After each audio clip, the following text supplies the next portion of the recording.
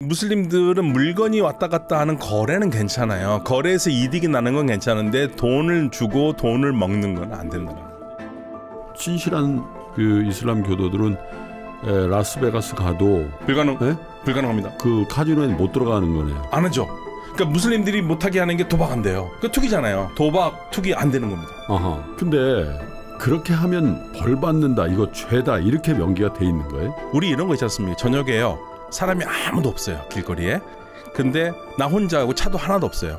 근데 빨간 불입니다. 건너가시겠어요? 안. 그래서 그러니까 이슬람 뱅킹이라는 것은 어떤 느낌이냐면 아무도 없는 거리, 차도 없고 분명히 빨간 불인데 안 건너가고 파란 불을 바뀌었을 때 건너갈 때 느끼는 윤리적 만족감. 그게 이슬람식 뱅킹에서 무슬림들이 갖는 기쁨이고 즐거움이에요. 각 분야의 전문가들을 모시고 insight를 들어보는 신과 함께 시간입니다. 그 중에서도 신과 함께 더 릴리전. 자, 종교의 이야기를 들어보는 더 릴리전. 안녕하세요. 저는 이주호 기자입니다. 김프로입니다. 네. 요즘에 진짜 장안의 화제죠. 아, 왜 이렇게 부끄러워하세요? 꼭 그렇게 저 올드한 표현을 해야 됩니까? 자, 좋습니다. 더 릴리전. 오늘은 이제 이슬람교에 대해서 이야기를 나눠볼 텐데, 네. 저희가 뭐 불교도 했고요. 이슬람교도 지금까지 계속 방송을 네. 해오고 있고요. 오늘은 이슬람교의 이자 돈 얘기군요, 돈 얘기. 이슬람교의 돈 얘기. 네. 이슬람교의 무슬림들한테 돈은 어떻게? 자, 그러면 서강대 유로메나 연구소 박현도 교수님과 함께하겠습니다. 어서 오세요. 네, 안녕하십니까? 어서 오세요. 네, 안녕하십니까? 안녕하세요. 네. 사실은 제가 그 85년에 서강대 종교학교 입학할 때요. 네. 음. 저희들이 우리 과를 뭐라 그랬냐면 실업자 양송소라고 했어요. 종교학과 나서 뭐 하냐? 아, 네. 뭐 신부 목사 될 것도 아니고. 음. 근데 제가 종교로. 3%의 더 릴리전으로 먹고 삽니다. 그래요. 그래서 이래서 사람들이 박현도 교수님 좋아하나 봐. 맞아요, 맞아요. 교수님이 이걸로 먹고 산다는 표현은 잘 안 해요. 이런 저렴한 표현을. 오늘 표현들이 다들 좀 그렇습니다. 근데 어제 좀 재밌는 게 그 아무래도 그 상식적으로 뭐 알고는 계시는 것 같긴 해요. 다들 뭐 이자 못 준대 뭐 이러긴 하는데 좀 실상이 어떤지가 좀 궁금해서 이자를 못 받아요? 그러니까 어, 전 세계적으로 보면 무슬림 국가라 할지라도 네. 이자를 주는 은행이 더 많겠죠. 어. 그러니까 이자를 없는 은행이 시작된 것은 근대에 들어와서예요. 어. 근데 근대에 들어와서? 들어와서 이게 오. 시작됩니다. 사실 이제 뱅킹이라는 게 네. 이자 없는 뱅킹이 불가능하잖아요. 그렇죠. 그러니까요. 네. 그런데 이제 식민 지배를 받았던 무슬림들이 그 중에서 특히 좀 저평가되고 있는 인물 중에 하나가 마우두디라는 사람이거든요. 마오도디? 예, 마우두디. 예. 아, 알라 마우두디라는 사람인데요. 이 사람이 지금의 국적으로 따지면 파키스탄 사람이에요. 예. 근데 인도 식민지에서 인도인으로 태어난 건데 음. 이 사람이 그런 생각을 한 겁니다. 야 나는 이 무슬림으로서 제대로 살고 싶은데 세상의 원칙에 우리 무슬림의 원칙대로 안 되는 게 너무 많다. 네. 하나하나 좀 바꿔보자. 음. 이 사람이 생각했던 게 이슬람 뱅킹이었었어요. 음. 근데 생각을 했는데 네. 실행은 하기는 어려운 사람이죠. 음. 그 실행을 60년대 들어와서 이집트에서 처음으로 63년에 이슬람식 뱅킹이라는 게 들어서요. 그러니까 기본적으로 이슬람 뱅킹의 뜻은 뭐냐면 이자 안 되고 투기 안 되고. 아니 근데 기본적으로 그러면 그 꾸란에 야 너 돈 빌려주는 건 괜찮은데 너그그 대가로 이자 받으면 너 벌 받는다 이렇게 써 있어요. 네, 꾸란에서는 정확하게 리바라고 그러거든요. 네. 리바라는 게 증가한다는 뜻인데 네. 리바 금지입니다. 증가 예, 그러니까 리바라는 뜻이 이자로 번역이 되는데 네. 그 의미는 증가한다는 뜻이에요. 증식. 증식에. 이런 거예요? 아. 근데 그거를 꾸란에서 금지시켜요. 그래서 이제 그 이야기는 왜 그렇게 되냐면 뭐 전승에 따르면 아마도 어, 예언자가 유대인들의 이자 놀이를 굉장히 안 좋아했다. 거기 또 이자놀이의 선수들 아니야. 네, 이거, 그렇죠. 이거. 완전 선수들. 네. 그래서 이자 놀이를 금지시켰다. 아. 그래서 이제 이자 놀이를 하지 말라고 그래서 무슬림 사회에서는 가급적이면 돈을 빌려주고 이자를 받지 않는 게 맞는 거거든요. 어허. 근데 사실 쉽지가 않잖아요. 어. 내가 돈을 잃어버릴 수도 있는데 네. 네. 그러니까 돈을 빌려줬다가 날라버릴 수도 있는데 그거를 보상을 안 받기 어려우니까 그렇죠. 이게 이슬람법에 전통적으로 어떤 좀 좀 안 좋은 방법인데 네. 그리고 별로 좋아하는 방법은 아닌데 어떤 편법이 있냐면 영어로 하면 double sale이라는 방법이 있어요. double sale. 네, 그러니까 제가 우리 이프로님한테 이프로님은 저한테 돈을 빌리고 싶어요. 네. 그래서 천만 원만 빌려달라고. 여기서 그래요. 2%란 2조 프로를 얘기하는 겁니다. 20% 하시죠, 여기, 여기 20%. 없어요 지금 그 2%. 네. 네, 이조 프로님한테 제가 돈을 빌려달라고 그래서 네. 이- 저- 제가 돈을 천만 원을 빌려주기로 했는데 네. 돈이 제가 천만 원 빌려주고 음. 나중에 천만 원을 주시면 되는 거예요. 그렇죠. 그게 이슬람 예. 따르는 뱅킹이네요. 근데 네. 저도 생각해 보면은 아 내가 천만 원 주면 나도 리스크가 있는데 네. 날돈 갖고 어떻게 할지도 모르잖아요. 네. 그러면 제가 이렇게 돈을 주지 않고 음. 핸드폰을 천만 원에 삽니다 제가. 네. 그 핸드폰을 제가 네. 천만 원에 사요. 네. 그리고 3개월 후에 저한테 이 이거를 천백만 원에 사가시는 거예요. 아. 그럼 이자입니까 거래입니까? 그 소위 깡 너무- 같은데 이거 약간 아니, 그러니까 너무 불편하다. 아니 경전을 지키는 어. 건 좋지만 아 그렇게까지. 그러니까 예, 이게 네. 지키고 싶은 마음에. 네. 네. 예. 아. 그러니까 무슬림들은 물건이 왔다 갔다 하는 거래는 괜찮아요. 괜찮은데. 거래에서 이득이 나는 건 네. 괜찮은데 네. 돈을 주고 돈을 먹는 건 안 그러니까. 우리 그런 얘기 하잖아. 야 너 있잖아. 지금은 돈이 돈을 벌게 하는 그런 사회야. 그러니까 네가 막 노동해서 그런 그런 것도 중요하지만 자본을 잘 활용해서 네. 돈이 돈을 벌게 해야 돼. 그게 부자 되는 길이야. 이거 자체가 안 된다는 얘기예요. 그렇죠. 그러니까 네. 돈으로 돈을 증식하는 건 안 되죠. 그러니까. 음. 그러니까 돈을 따박따박 돈 넣어놓고 뭐 연 이자 업몇 퍼센트 이거 하지 말라는 얘기예요. 이게 이슬라믹 뱅킹의 특징입니다. 대출이 있긴 있겠는데 그럼 네. 대출을 위한 뭔가 담보가 계속 이렇게 왔다 갔다 해야 되는 거네요. 뭐 소- 우리 우리 개념으로 보자면. 네, 그러, 그러기도 하고 네. 그다음에 아니 담보 사실 담보도 잘 안 잡는데 뭐냐면 제가 그러니까 이슬라믹 뱅킹 63년에 이집트에서 들어선 뱅킹이 뭐를 했냐면 네. 음.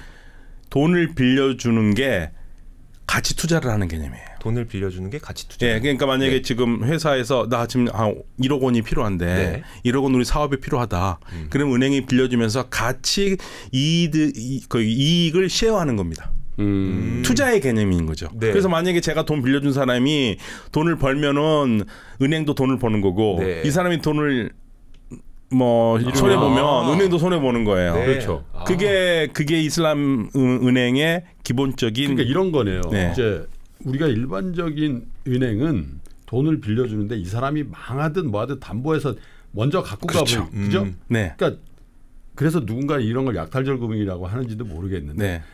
너 관계 없어. 네가 잘 되든 못 되든 근데 잘 돼도 약정된 이자만 줘. 음. 그럼 이건 이건 이거 여기에 연동하는 건 우리가 이걸 얘기를 할 때 뭐라 하면 투자라고 얘기하는데 네. 네. 인베스먼트라고 하잖아요. 네. 이거 이걸. 예, 그렇죠. 그래서 거기에 대해서 이게 비례하는 배당을 받는 건데 네. 네.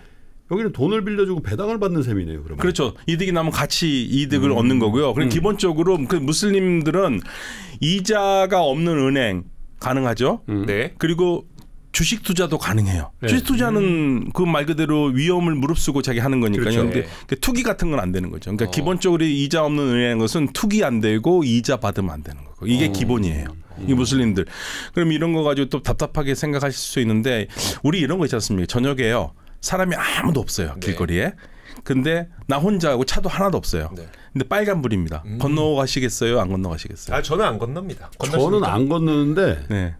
제가 미국에 있다가 사실 그게 습관이 돼서 안 건너고 있었거든요. 네. 아 뒤에서 왜 크락션을 넣는 거야? 근데 이거 내가 어떻게 해야 되냐? 아 너무 황당한 거. 네. 아, 진짜 실제로 그런 경우가 몇번 네. 나왔어. 그래서 그러니까 이슬람 뱅킹이라는 것은 어떤 느낌이냐면 아무도 없는 거리 차도 없고 분명히 빨간 불인데 안 건너가고 파란 불을 바뀌었을 때 건너갔을 때 느끼는 윤리적 만족감. 음. 그게 이슬라믹 뱅킹에서 무슬림들이 갖는 기쁨이고 즐거움이에요. 어. 하느님이 보시지 않는다 하더라도 세상 네. 누가 안 한다도 나는 하느님의 뜻에 따라 살아가겠다. 어. 야, 근데 그 모든 사람이 그렇게 하면은 네. 에, 그 자부심을 쉐어하는데 나만 그렇게 한다고 생각하잖아요. 네. 힘듭니다. 그죠? 아무래도 한국 사회에서는 힘들죠. 네. 네. 돈을 벌 수 있는 게 분명히 보이는데. 네. 아 근데 그렇게 듣고 보니까 사실 지금 보면 투자는 가능하지만 네. 이자가 안 된다는 거니까 네. 오히려 안정성이 좀 더 떨어지는 느낌이 뭐 그런 것도 있죠. 그러니까 예를 들면은 가장 많이 하는 것 중에 하나가 만약에 제가 현 자동차를 산다. 네. 5천만 원짜리 자동차를 산다. 그럼 5천만 원 자동차가 제가 돈이 없으면은 down payment 얼마 해놓고 나머지를 융자로 해가지고 네. 은행에서 하던가 그렇게 하잖아요. 네. 이자 없는 은행은 어떤 거냐면 자동차를 은행이 사 와요. 네. 그러면 사오는데 비용이 들잖아요. 네. 그걸 합쳐서 저한테 무이자로 할부로 주는 겁니다. 그러니까 사실은 그게 그걸 수 있어요. 음. 그러니까 똑같이 자동차가 제가 융자를 해가지고 사서 5천만 원짜리가 5,500만 원이 되나 네. 이 은행에서 나한테 5,500만 원에 파나 네. 나는 비용이 똑같은데 나는 그래도 적어도 이자는 내지는 않잖아요. 어. 음. 그게 윤리적 만족감인 거예요. 비싸게 사는 거군요, 그 대신. 어떻게 비싸게 살 수도 있고요. 네, 음. 그렇죠. 같은 개념이긴 한데 비싸게 산다는 게 그만큼의 이자가 붙은 거죠. 할부 이자가 붙은 거잖아요. 예, 근데 음. 그 의자- 은행이 이자를 붙인 게 아니라 아, 예, 거래에 따른 마진을 붙인 거죠 일정에. 그렇게 하면 벌 받는다. 이거 죄다. 이렇게 명기가 돼 있는 거예요? 아니요 하지 말라는 거에 돼 있고요. 네. 사실 그건 안 좋은 거라고 하기 때문에 안 하는 게 맞죠 무슬림들한테는. 음. 근데 그거는 꾸란에서 다 돼 있고 하지만 일일이 다 지키는 쉽진 않지 않습니까? 음. 그러니까 그 현대에 와서 기법이 발전하는 거고 60년대부터 이집트에서 발전하기 시작해가지고 이제는 많은 나라들이에서 무슬림들이 어떻게 쓰든지 뭐 세상 사람이 어떻게 됐던 간에 돈을 누가 이자로 많이 벌든 간에 우리는 그러지 말고 무슬림에서 올바르게 살아보자. 왜냐면 죽은 다음에 우리는 천국 가야 되니까. 근데 개인 차원에서 오케이 에, 뭐 내가 돈이 좀 있으니까 나는 그런 거 안 해. 이렇게 하고 또 돈 없는 사람은 솔직히 해당도 안 되니까 이자 소리가 안, 발생 안 할 거니까. 근데 기업들 있잖아요. 네. 아랍권에도 큰 기업들이 많단 말이에요. 그렇죠. 예를 들면 아람코가 있다 이게 네. 뭐 네. 수조 달러가 있, 을수 있는데 야 너 자금 운용 어떻게 하냐? 그러면 나 은행에 맡기지. 이자 안 받아 기업들도 그래요 아니 꼭 그러지는 않습니다. 그러니까 이게 쉽지는 않아요. 어. 쉽지는 않은데 다만 이제 그런 은행들이 투자를 할때 네. 기업들이 투자를 할 때 최대한 이슬람적인 투자를 하려고 그러죠. 예를 들면은 제가 이제 무슬림이어 가지고 은행이 있다. 그큰 회사다. 네. 돈이 돈을 어딘가 투자를 해야 되는데 3%에 투자를 하는 거 3%가 보니까 아, 돼지고기를 먹네. 돼지고기 같은 사업을 한다. 그러면 제가 이제 못 하게 하는 거예요. 천억 천억을 천억을 여기 투자를 하고 싶은데 아, 3%가 하는 사업에 돼지고기와 관계가 있네요. 그거를 빼시면 내가 투자를 하겠습니다. 뭐 이렇게 되는 겁니다. 네. 그래서 그런 윤리적인 걸 많이 따져요. 최대한. 혹시 아까 두 가지가 첫 번째가 이자 안 된다, 네. 투기 안 된다 투기. 이거였었잖아요. 네, 네. 투기랑 투자는 아까 말씀하셨던 이 윤리 말고 네. 윤리는 말고 우리가 흔히 생각하는 투자랑 투기는 또 어떻게 구분이 돼요? 그래서 저희가 이제 경제 전문가는 아니기 때문에 네. 이게 증권은 투자라고 봐요. 그래서 증권 시장은 투자. 다 해요. 그 생산 생산에 투자되는 거니까 네, 네. 그죠? 생산적인 그런데 거예요. 그 외의 걸로 막 뻥튀기 하는 그런 거 있잖아요. 막 네. 돈 놓고 돈 먹게 할 수 있는 그런 건 안 된다는 거예요. 기본적으로 이자하고 투기는 안 된다. 그러면 그 이슬람 세계 그좀 친실한 그 이슬람 교도들은 에, 라스베가스 가도 불가능 예? 불가능합니다. 그 카지노에 못 들어가는 거네요. 안 하죠. 그러니까 무슬림들이 못하게 하는 게 도박 안 돼요. 어. 네. 그 투기잖아요. 네. 도박 투기 안 되는 겁니다. 어허. 매춘 안 되는 거 아 로또 없습니까? 없습니다. 로또 없어요? 로또 없어요.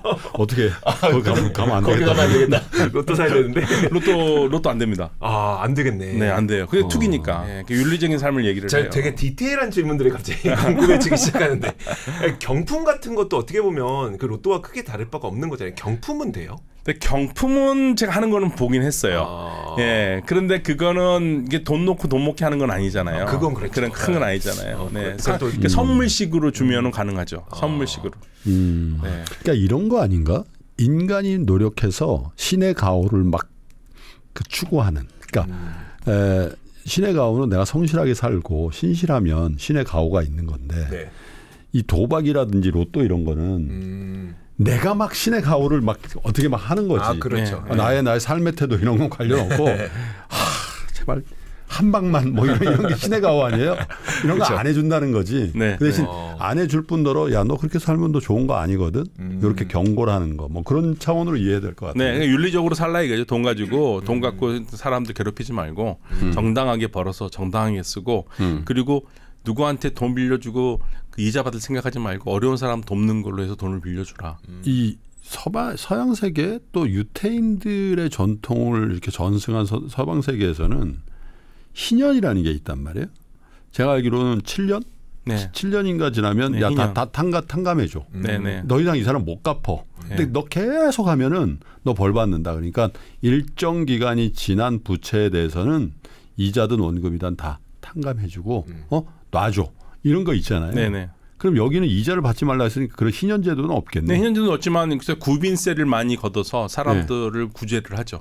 그러니까 무슬림 사회가 사회보장제도가 굉장히 발전했던 사회였어요. 아하. 근대 이전에. 네. 그러니까 제가 늘 항상 하는 비유이지만 어 예를 들면은 집에서 일하는 그물 깃는 일을 하는 그 노비가 있다고 생각해 보세요. 네. 노예가 있으면. 음. 근데 이 친구가 어렸을 때 물을 길어 오다가 물을 뭐 돌멩이에 넘어져서 음. 깨진다. 네. 음. 그러면 큰일 났지 않습니까? 그렇죠.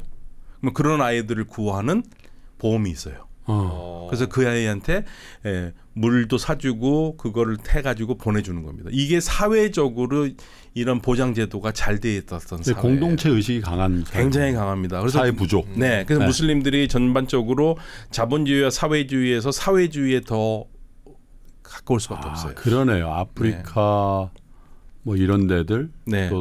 또뭐 이 서아시아 이런 데들도 사회주의 국가가 꽤 네. 있었죠. 그리고 사실은 크리스천 세계도 어 이자 금지했었습니다.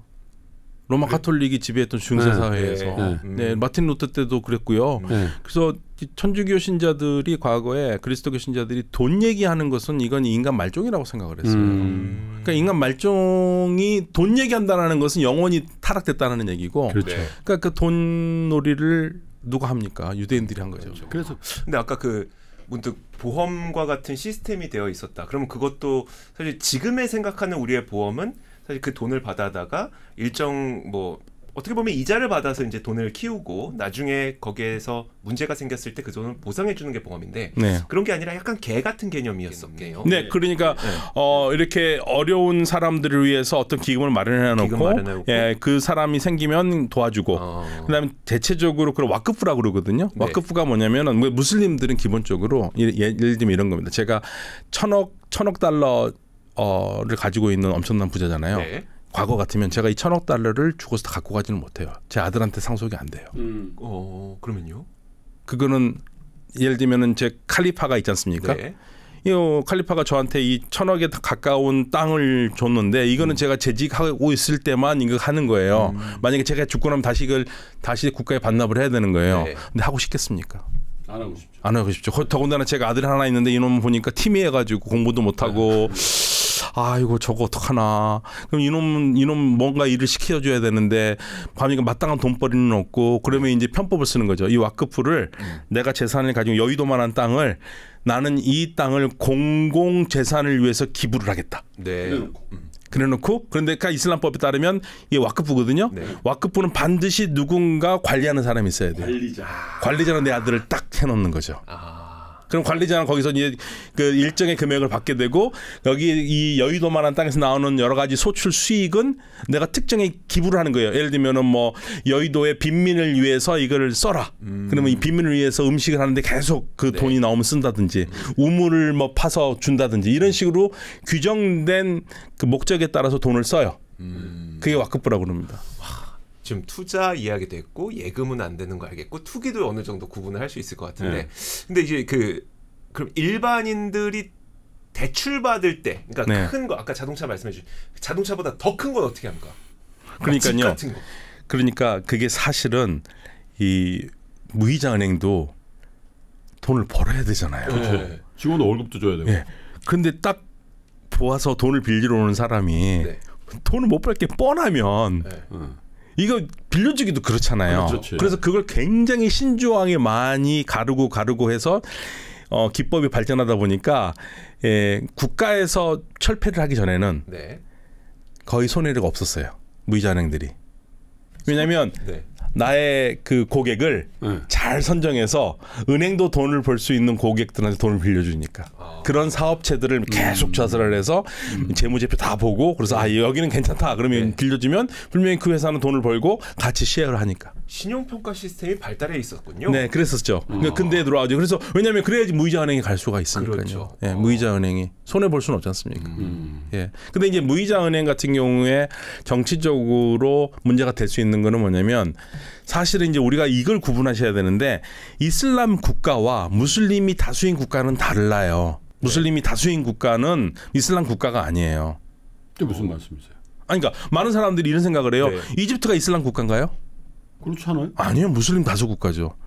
이- 이집트는 이슬람이 나라를 통치하는 근본 개념이 아, 닙니다 아, 그 정치 아, 체제나 네, 뭐 네. 그런 예, 것들이. 예. 아. 그러니까 이란은 이슬람이 나라를 다스리는 이슬람 정치 체제이기 때문에 이슬람 공화국이라고 그러는 거고 그렇죠. 사우디는 이슬람 국가 아니죠. 무슬림 다수 국가죠. 아. 그 나라 자체가 국가 정체성이 완전히 이슬람 원리에 따라 간다면 이슬람 국가라고 부르지만 그렇지 않은 경우는 아닌 거죠. 그러면 네. 이럴 경우는 어때요? 예를 들어 아까 말씀하셨던 것처럼 이집트 같은 경우에는 네. 이슬람 국가는 아니지만 무슬림 다수 국가 다수 국가죠. 그러면 네. 무슬림 입장에서는 어 나는 이자를 받으면 안 되라는 마음을 갖고 있을 거고 네. 이집트에 있는 은행은 우린 이자 드립니다라고 할 것 같은데 실제로 어떤지 모르겠어요. 그래서 이 그걸 지키려는 사람들이 이슬람 은행을 찾기는 그렇게 많지는 않거든요. 아, 솔직히 은행에서 이슬람 이자가 없는 은행이 돈을 벌겠습니까? 이자가 어, 있는 은행이 돈을 돈을 있는 벌겠죠. 벌겠네. 그런데 내가 그 나는 무슬림인데 아 난 진짜 이슬람 은행을 찾기도 어려운데 어, 이자 없 이자 있는 은행을 가야 되잖아요. 네. 그럼 그 이자 있는 은행에서 그런 프로그램을 만들어요. 아. 저 같은 사람을 위해서. 아, 예. 다른 다른 계좌가 있는 거예요. 예, 그렇게 만들어 가지고 하는 경우도 있습니다. 근데 교수님 설명 들으니까 내가 이해가 되네. 내가 사실은 현역에 있을 때도 또 얼마 전에도 사실 예, 아랍권 뭐 특정이 될 건 아부다비 가서 네. 뭐 프레젠테이션도 하고 뭐 예전에는 우리나라를 위해서 펀딩하는 그 일도 제가 대신하고 뭐 그런 적이 있었거든요. 근데 그때마다 아랍 친구들이 나한테 뭐라 그러냐면 야 너 이렇게 한 번 와서도 안 된다. 계속 관계를 맺고 네가 이쪽 사회에 대해서 어떻게 contribution 어떻게 기여하는지를 잘 본다 얘네들은. 그래서 저는 아 이거 뭐 한국 같으면 네. 또 서방 세계 같으면 어, 내가 credit이 있고 내가 정당한 좋은 상품이 있으면 가입하면 되는 거지 이렇게 생각하는데 그들은 안 그렇더라고. 계속 시간을 두고 저 친구가 우리 사회 혹은 우리 조직을 위해서 어떻게 contribution 하는지에 대해서 그렇지만 얘기는 안 하는 상태에서 계속 관찰하고 뭔가 그런 부분에 대해서 확신이 있을 때. 그래 그런 거 생각해 어, 이렇게 길게 가나 그랬더니 생각해 보니까 이자를 받으면 안 된다는 간, 관념이 있으니까 너 망하면 나도 망해. 그러니까 네, 네, 네. 우리는 음 그래서 그런 검증의 기관들이 필요하다고 그러는데 사실 한국 사람 굉장히 조급하잖아. 그렇죠. 아 진짜 느리다. 그래서 그걸 잘못 이해한 게 아, 아랍은 후진적이야. 그래서 얘네들 절차가 너무 복잡하고 느려. 음, 어? 음. 그리고 이게 제도화가 안 돼 있기 때문에 저런 거야. 이렇게 생각했거든. 네. 근데 교수님 말씀 들어보니까 아 그런 어떤 프린스플이 거기 있었네라는 생각이 들어요. 그러니까 예를 들면 제가 뭐 아랍 지역에서 천억 원을 그 융자를 받았잖아요. 네. 그러면 그 돈에 대해서 이자는 줄 수는 없거든요. 음. 그럼 어떻게 해서든지 이 또 쉐어를 해야 되잖아요. 네. 그러면 제가 한국에 와가지고 아 내가 돈을 벌 수 있는 방법이 뭘까 천억 가지고 그럼 부동산을 사겠죠. 네. 음. 음. 그 부동산을 사 부동산을 사서 거기에 나오는 이득을 공유하면 되잖아요. 그 그렇죠? 월세는 이자로 안 치는 아니죠. 거죠? 예, 어, 그건 아니죠. 네, 그러니까 그쵸. 만약에 네. 제가 부동산을 해가지고 네. 사가지고 월세가 나오면 월세를 가지고 음. 하면 되잖아요. 네. 근데 우리나라에서 그럴 때 무슨 문제가 있습니까? 우리 양도소득세나 이런 어, 게 그렇죠. 있잖아요. 네. 그래서 그냥 보통 일반인들이 사는 집하고 음. 그렇게 투자해서 사는 거하고 좀 차별을 해달라. 네. 예를 들면은 네. 그렇죠. 네. 근데 정부가 그거 하려다 실패한 거예요. 이명박 정부 때. 음. 그래서 그런 그런 돈이 들어와서 우리 부동산 투자를 해가지고 뭘 하면 양도소득세나 이런 걸 면제해주면 좋지 않겠느냐. 네. 음. 가지고 뭐 숙국금 뭐 난리 났었잖아요. 그렇죠. 그게 그거예요. 아 맞아 그때 스쿠쿠. 네, 네. 아, 이슬람 그때- 채권. 네. 그때 이명박 정부 때 두 가지가 엄청 유행해 스쿠쿠하고 네. 할랄. 네, 네. 네, 그래서 그랬던 겁니다. 음. 왜냐하면 이게 돈 놓고 돈 먹기가 안 되니까 투자를 하더라도 실물 거래가 돼야 되는 네. 거고, 그다음에 어, 이슬람에서 금하는 곳에서는 하면 안 되니까. 음. 만약에 제가 돈을 그 무슬림들이 돈을 빌려줬는데 가만히 보니까 박현도체 매춘 사업이나 뭐 그런 음. 거 관련된 거라든지 뭐 위스크 사업 이런 거에 돈 그러면 안 되는 거예요. 네. 그래서 그런 걸 굉장히 따지고 조심스럽게 하고 그러다 보니까 자신들이 결정을 다 못하니까 이슬람 법학자들이 이 커미티로 만들어져 있습니다. 음. 그래서 이슬람 법학자들이 한테 물어봐야 되는 거죠. 네. 그게 일종의 한국으로 치면 투심이구나. 네, 투자심의위원회. 예, 그건 이제 무슬림이 되는 거예요. 네, 무슬림들만이 할 수 있는 게 법학자들이에요. 어. 저희들이 결정할 수 있는 게 아니라 무슬림 학자들이 전부 문을 따지면서 이건 안 된다, 이건 된다, 이걸 하는 어, 거고. 네. 그래서 이슬람 사회가 제가 말씀드리지만 이슬람과 유대교는 법이 발전할 수밖에 없어요. 어. 그러니까 법의 중심의 종교고 그리스도교는 법은 별로 중요하지 말. 않아요. 네, 네. 네. 말씀. 말씀으로서. 말씀. 네, 네, 말씀. 은총. 보시기에 보시기에 어땠는지 보시기에 좋더라. 보시기에 좋은 걸로.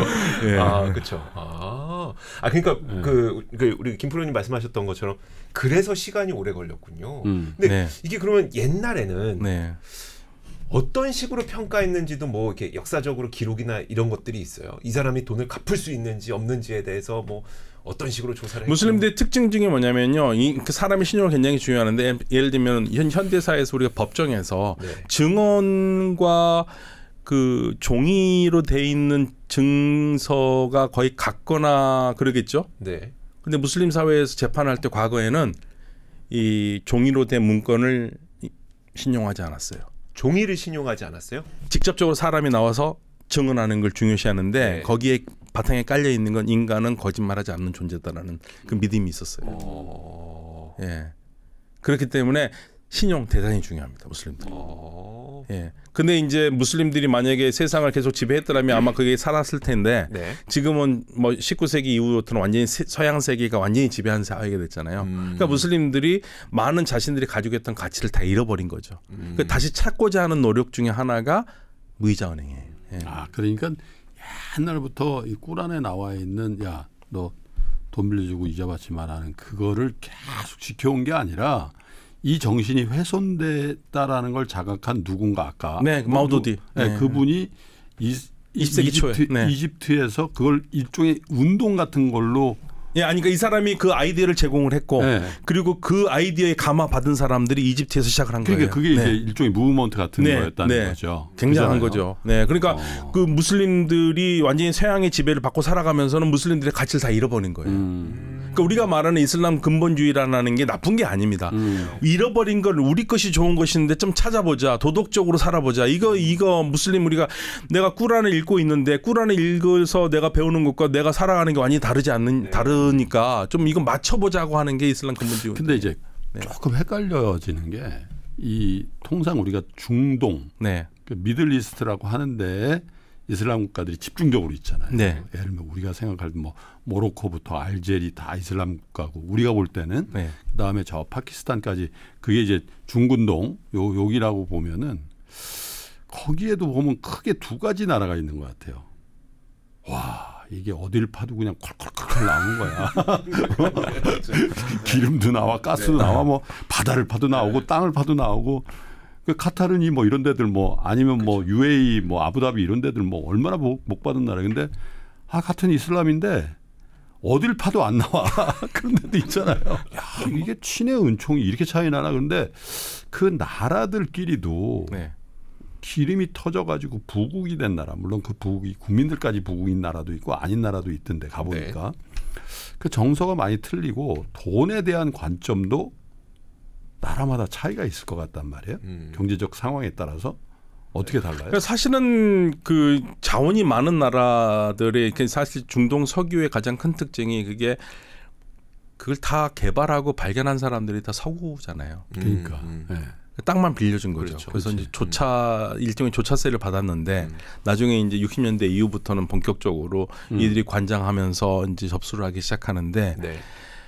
기본적으로 돈의 그 자본이라는 것은 전부 다 하느님 거라는 생각을 가지고 있어요. 음. 음. 그런데 실질적으로 그러진 않잖아요. 음. 그선 산유국들은 기본적으로 그 왕정 같은 경우에는 그게 왕의 재산으로 많이 생각하죠. 음. 네. 왕가의 재산이고 왕이 그러한 재산을 국민들에게 아버지처럼 나눠주는 음. 그런 선물의 개념을 가지고 있어요. 그러니까 공화정의 공화정의 정신이 살아 있기는 어려운 지역들이 산유국입니다. 음. 네. 그래서 많은 부분에서 왜 중동의 이슬람이 이슬람이 많이 이슬람을 많이 믿는 나라는 민주주의가 안 되냐고 했었을 때 음. 많은 사람들이 그건 이슬람 때문에 그래 그러는데 실질적으로 따져 보면은 어, 민주주의가 안 되는 가장 큰 이유는 산업 구조입니다.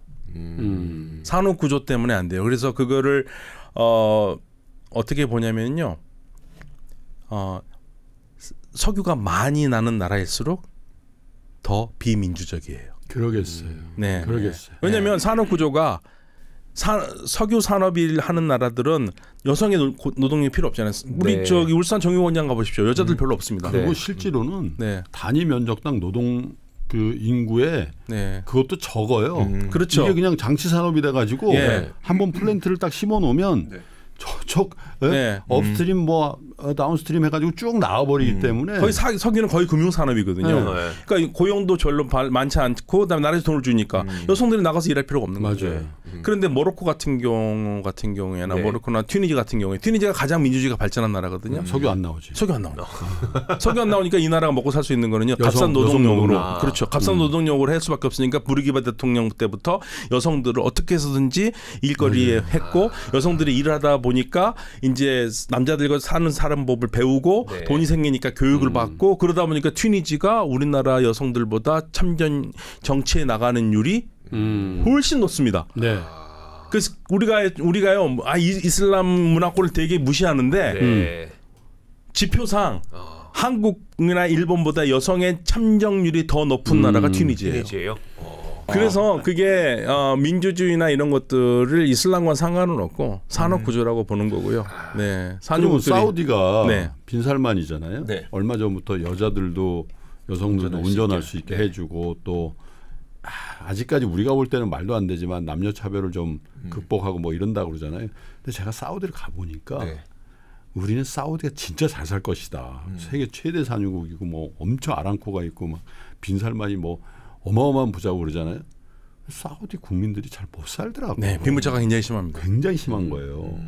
그러니까 야 이거 이렇게 에, 그 원유를 팔아서 이렇게 살살 나눠줘도 이게 커버가 안 되는 거예요. 네. 그러니까 아 이게 빈살만이 뭔가 개혁군주로서 그게 아니라 그렇게 안 나오면 안 되겠네. 네. 여성들도 일해야 되고 생산력에 아. 동원이 돼야지만 나라가 유지되는 걸 아는 거죠. 그러니까 이게 오일 석유가 많이 나는 나라들이 고민이 뭐냐면 사실 2000년 6월 달에 오랫동안 서, 사우디아라비아 석유 장관을 했던 야마니가 뭐라고 야마니, 그랬냐면 네. 야 돌이 없어서 석유 시대가 끝났냐? 아니지 않느냐. 네.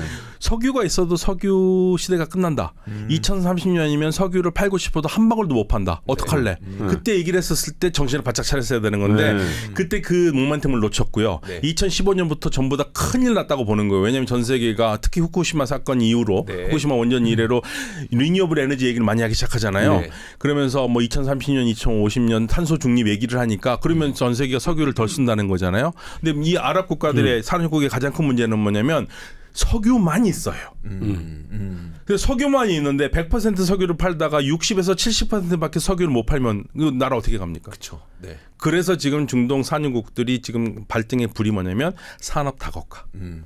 그 산업 다각화를 해야 되고 그럼 석유 아닌 데서 돈을 벌어야 되니까 당연히 이들이 꿈꾸는 나라는 대한민국처럼 석유는 없어도 국민이 세금을 많이 내서 네. 세금으로 운영하는 나라거든요. 맞아요. 네. 그러면 국민들이 일해야 되잖아요. 그래서 직장으로 사- 여성들을 끄집어 내는 거고 끄집어 내려니까 여성들한테 자유를 주기 시작한 거고 그러면서 사우디가 변하는 거죠. 그러니까 이, 나- 이 나라들은 전부 다 지금 모든 게 어디에 지금 뭐 꽂혀 있냐면 산업 다각화입니다. 석유 없이 세상 사는. 날 수 있는. 거.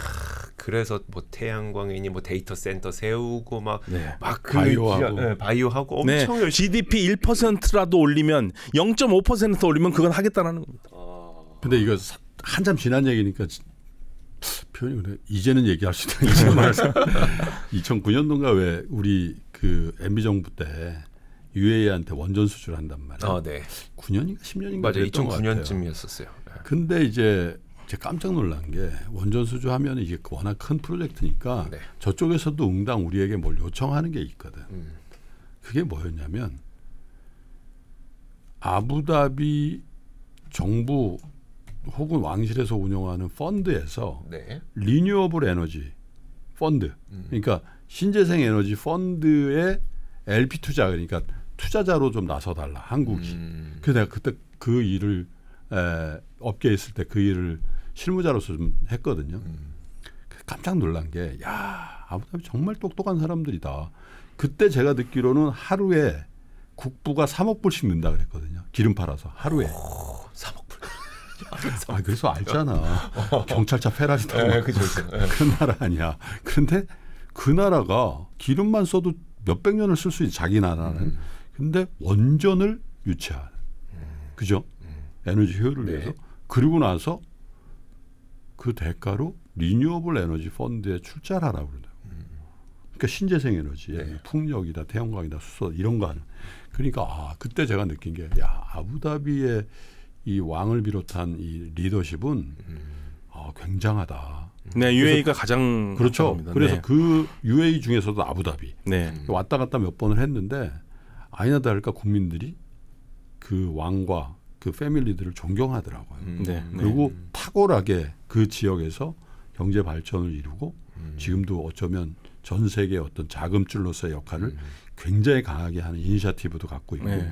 그래서 자, 상당히 그 지혜로운 사람들이라는 음. 생각을 많이 네, 합니다. 아부다비 같은 경우에 그러니까 아랍에미레이트 일곱 개 아미르 국가가 일곱 나라가 아미르국이에요. 네. 왕이 아미르고요. 음.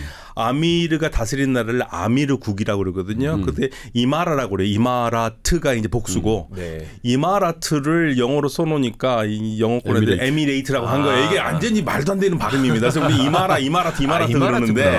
오늘부터 일- 이마라트로 합시다. 우리. 예, 이마라트 일곱 개거든요. 네. 일곱 개가 그러면 다 국왕이 있어요. 그렇죠. 음. 예, 그런데 일곱 개 나라가 합쳐서 한 두 가지를 같이 합니다. 외교하고 국방.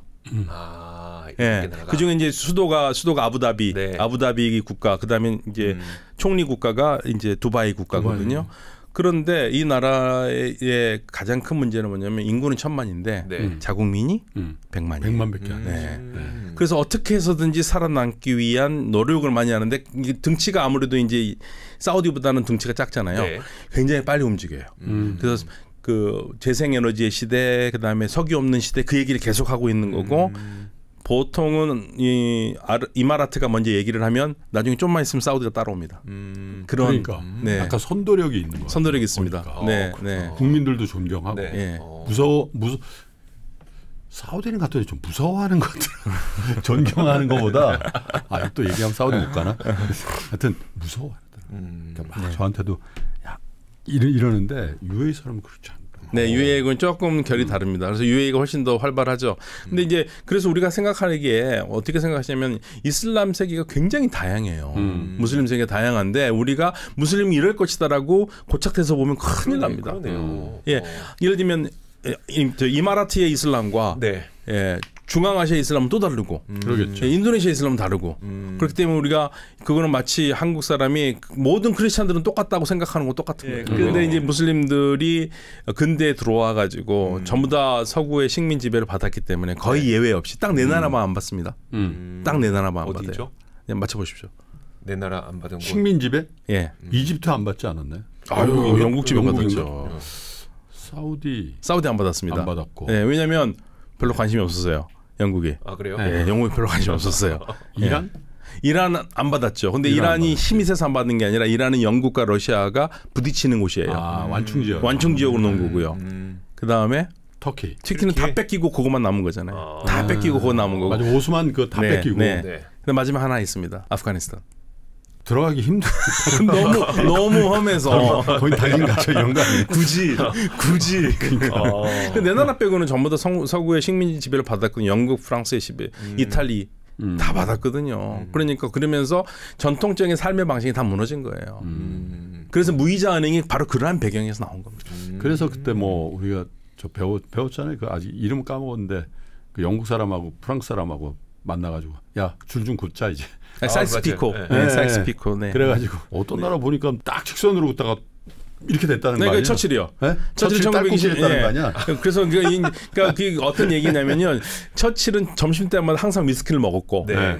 네. 그 손을 보니까 처칠이 그었다는데 분명히 처칠이 얘기하다가 에이! 했을 것이다. 음, 그래서 이렇게 첫. 그래서 윈스턴의 hand라고 그러는데 네. 윈스턴의 손이라고 얘기를 아, 합니다. 처칠의 윈스턴, 예, 윈스턴의 손이라고 그렇게 얘기를 하죠. 음. 그게 요르단과 사우디아라비아 국경입니다. 네. 아. 우리가 재밌게 얘기해서 그렇지 그 나라 사람들이 얼마나 기분 나빠. 예, 사실 굉장히 기분 나쁜 일이죠. 네, 그- 그렇죠. 근데 그만큼 서구가 마음대로 지네 마음대로 주물럭 주물럭 거렸어요. 음. 그 거기서 이제 근대를 시작한 근대성을 시작한 무슬림들이 새로운 서구가 말하는 근대성이라는 게 무슬림 과안 맞는 네. 게 너무 많은 거예요. 음. 거기에 대해서 자각을 하고 우리 우리식으로 한번 해보자고 하는 게 나왔던 거고 그게 이제 가장 대표적인 것 중에 하나가 그럼 그 무슬림의 그 지금 금융 시스템도 좀 이렇게 약간 양극화되어 있는 거예요. 아까 말씀하셨던 무이자 은행은 무이자 은행대로 사실 지금 우리 석유 산업도 얘기하고 했지만 굉장히 금융 산업 발달했잖아요. 가장 발달한 나라는 제가 봤을 때 말레이시아라고 보거든요. 네. 말레이시아는 국가적으로 굉장히 후원을 많이 했어요. 음. 어, 그러면 그 우리 한번 윤리적으로 살아봅시다라고 했던 그 율법 이 어떻게 말레이시아에서는 어떤 방식으로 좀 좋아졌어요? 아니, 그, 거기는 발달- 국가적으로 그 Islamic 그 banking을 키웠어요. 아. 국가적으로 키웠고, 네. 마하티르가. 예. 음. 그래서 거기는 이슬람 banking이 가장 잘 발달한 곳이라고 음. 말씀을 드리는 거고, 네.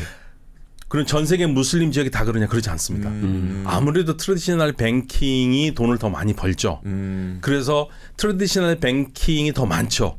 그런데 어떻게 해서든지 Islamic banking으로 바꿔보려고 노력을 하고 있는 거고 음. 제가 봤을 때 제가 이제 상 솔직히 말씀드리면 이란이 traditional banking이 더 많거든요. 그런데 이란에서는 그걸 다 Islamic banking이라고 얘기를 해요. 음. 아 그래요? 예. 약간 안 될 것 같은데. 예. 그러니까 이제 이런 거죠. 예를 들면 은행에서 이자라고 하느냐, 어, 이익이라고 나눈 거냐 하느냐. 음. 이름만 바꿔서. 이름만 바꾸면 그건 무이자, 무이자 은행이 되는 거죠. 네. 어. 예. 그래서 어쩌면 편법도 있고, 그래서 음. 우리가 현재 나오는 Islamic banking의 통계를 100% 신뢰할 수는 없는데요. 네. 예. 그러나 무슬림들이 노력은 하고 있다. 자, 그래서 이제 친구들이 많으시잖아요. 네. 무슬림 친구들이. 네. 그분들의 경제관, 그분들의 이 재산에 대한 생각, 정말 그러면 꾸란이 얘기하듯이 야, 너 남의 돈 뺏지 말고 이자도 너 그런 거 아니야. 그러면 이분들이 정말 재산 증식을 하더라도 아, 재산에 대한 돈에 대한 관점이 서방이나 혹은 유태인 우리나라 사람하고 좀 다른 걸 느끼세요? 아니면 아니야 그거 뭐 솔직히 그런 거고 똑같아. 근데 제 친구들은 네. 이슬람을 열심히 공부하는 친구들이잖아요. 네. 신실해요. 네. 음. 어떻게 해서든지 원리 원칙을 한- 바꾸려고 노력을 하고 있고 네. 최대한 그러는데 무슬림들도 여러 층이 있잖아요. 네. 근데 아는 사람들은 아니죠. 한국에 그러니까 한국에 도둑놈이 있는 것처럼 무슬림 세계도 도둑놈이 있고요. 음. 한국에 나쁜 놈이 있듯이 무슬림 세계 나쁜 놈이 있는데 네. 이게 저는 주로 같이 공부하는 친구들이 좋은 사람. 좋은 친구들이었죠. 왜냐하면 이슬람을 공부하겠다는 음. 그렇죠. 거예요. 저는 이제 네. 비무슬림으로서 공부를 했지만 그러니까 이 친구들은 항상 원리 원칙 이런 얘기를 많이 하죠. 음. 그래서 그렇게 제 친구들은 부자, 부자 많지 않습니다. 다만 이제 와이프 여러 번 결혼한 애들은 많이 있는데 부자는 많지는 아, 않아요. 문화가 다르니까 아, 뭐 네, 네. 돈도 부자, 부자도 아닌데 어떻게 여러 번 아, 그러게요. 그러니까 그, 그 와이프를 열어두는 게 아니고 네, 이혼하고 그쵸. 네, 결혼하고 그렇죠, 이혼하고 그렇죠. 결혼하고. 근데 저 김프로님의 그 질문을 조금 더 이게 그 좀 빌드업 해갖고 그분들은 그럼 어떻게 자산을 증식하고자 하는 생각이 있어요? 아니 그런데 사실은 자산 증식이라는 건요. 그거는 그 사회의 문제인 것 같아요. 어. 예, 사회의 문제라서 본인들이 보통 부동산들을 많이 사는 것 같더라고요. 음. 돈이 있으면 부동산 사고 그럼 부동산이 자연스럽게 오르고 음. 그런 경우 막 예금을 해놓기도 하고 그렇지만 대체적으로 나누는 문화가 좀 강하긴 해요. 나누는 제. 친구들을 보면은 아. 예, 그러니까 있으면 가족들하고 나누고 누구 하고 그 다음에 누구 뭐 형님 딸이 결혼하면 거기에 엄청난 또뭐 음. 돈을 낸다든지. 네. 그러니까 우리 가족관이요. 음. 우리보다 훨씬 끈끈합니다. 저는 근데 그게 왜 이렇게 가족간이 끈끈한가 생각해 보면 거기는 사촌간 결혼을 많이 하잖아요. 음. 그 사실 우리 가족보다 우리 가족보다 훨씬 더 끈끈해요. 네. 음. 어. 우리도 만약에 한국 한국 사람들이 사촌끼리 결혼한다 그러면 아마 가족의 개념이 훨씬 강할 걸요. 음. 그렇죠. 그 누구도 이렇게 표, 이렇게 해석을 하더라고. 이게 유목이잖아요. 네. 그리고 이제 거의 이제 그 아랍 공화에 가면 굉장히 여건이 좋은 유목이 아니거든. 음. 그냥 빨리빨리 움직여야 돼. 음. 목초지를 따라서 그죠? 염소든 뭐 네. 양이든. 그러니까 저쪽에 가 있는 가족이 있고 저는 여기 있고 그죠?